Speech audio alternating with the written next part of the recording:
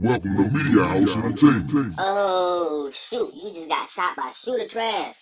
Yo, yo, this your boy Shooter Trav, and welcome to Media House News. In today's video, we are reporting on Meek Mill and Roc Nation. It's being reported that a video production company filed a $200,000 lawsuit against Meek Mill and Roc Nation. Roc Nation is throwing the responsibility back on Meek Mill and saying he's responsible for paying it.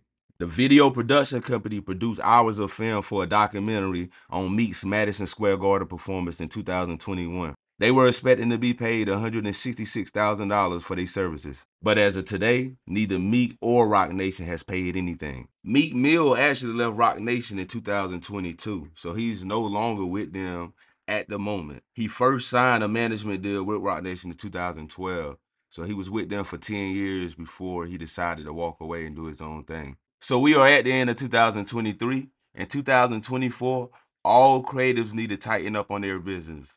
You should not move without a deposit. Let me know what y'all think about this situation. Sound off below and don't forget to hit that subscribe button.